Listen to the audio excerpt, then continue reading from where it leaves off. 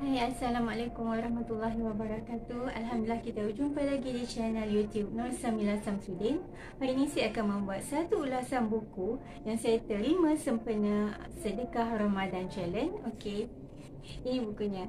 Sebenarnya buku ni adalah buku pertama yang saya terima sempena Sedekah Ramadan Challenge. Uh, Tetapi uh, saya lambat untuk membuat ulasannya sebab buku ini adalah buku non-fiction ya dan uh, agak tebal juga uh, sebagai buku non-fiction untuk kita habiskan perlahan sedikit supaya dia serap ke dalam jiwa kita.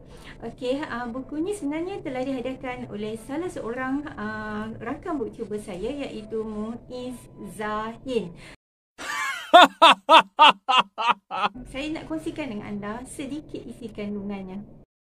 Taat dalam ketaatan adalah apabila seseorang hamba itu melakukan ibadah tanpa dia merasakan bahawa ibadah itu lahir daripada dirinya sendiri.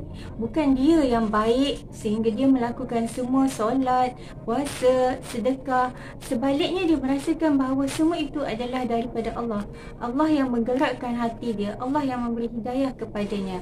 Jadi itu dinamakan sebagai taat dalam ketaatan. Bagaimana pula dengan derhaka dalam ketaatan. Derhaka dalam ketaatan adalah uh, di sebaliknya iaitu apabila dia melakukan satu-satu perkara iaitu dia bersolat, dia membuat dia berbuat baik, semua tu dilakukan uh, dan dia merasa uh, itu adalah dari diri dia sendiri bukan daripada Allah. Jadi setiap apa yang dia uh, lakukan tu dia akan rasa timbul ujub dalam diri dia. Tidak tidak terfikir langsung bahawa itu adalah hidayah dan gerakan daripada Allah untuk dia melakukan segala kebaikan itu. Itu dikenali sebagai derhaka dalam ketaatan. Dan bagaimana pula dengan istilah taat dalam kederhakaan? Okey, uh, di dalam buku ini dia beri contoh ya, uh, ada seorang pembantu rumah yang telah diberikan tugasan oleh majikannya dan ada lima tugasan tetapi dia hanya menyiapkan tiga tugasan sahaja mengikut kemampuannya dan apabila majikannya bertanya, dia memohon maaf kerana daya dia atau upaya dia hanya mampu melakukan tiga daripada lima tugasan. Dia cuba buat ada usaha di situ walaupun dia tidak melaksanakannya dengan sempurna.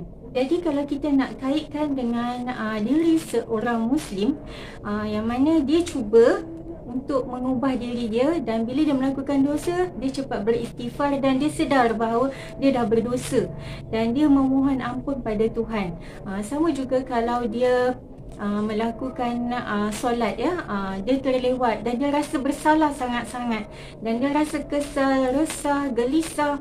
Dan itu dikatakan sebagai uh, taat dalam kederhakaan dan bagaimana pula dengan derhaka dalam derhaka dan ini adalah perkara yang paling uh, dimurkai oleh Tuhan iaitu dia adalah seorang pendosa dan dia berbangga pula dengan dosa-dosanya. Dan dia sebarkan pula kepada orang bahawa uh, dia melakukan perkara berdosa. Dan dia langsung tidak rasa kesal apatah lagi bersalah dengan apa yang telah dilakukannya.